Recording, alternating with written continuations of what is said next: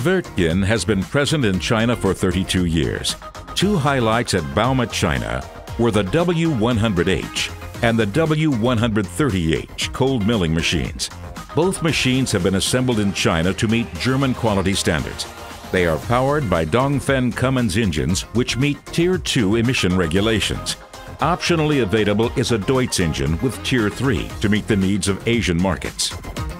I can say the Asia market have special requests on the milling machines.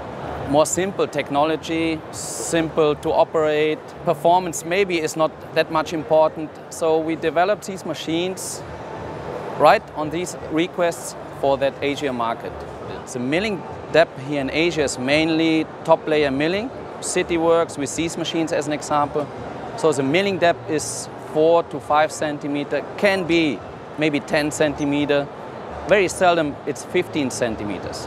The Wirtgen developed leveling system, so-called Level Pro, is also available for these machines, also as an option for W100H, for the 130H. And what is uh, very special on Level Pro, we can have two sensors on one display, and a third sensor, like the slope sensor, can easily switched over in the milling process as the next uh, to use sensor uh, in the leveling process.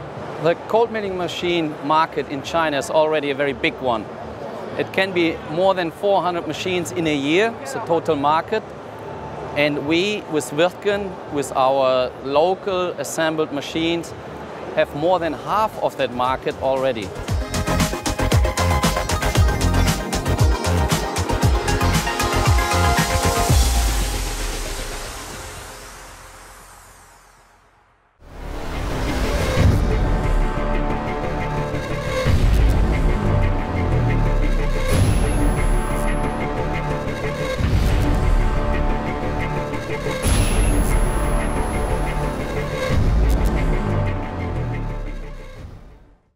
Bauforum 24 TV.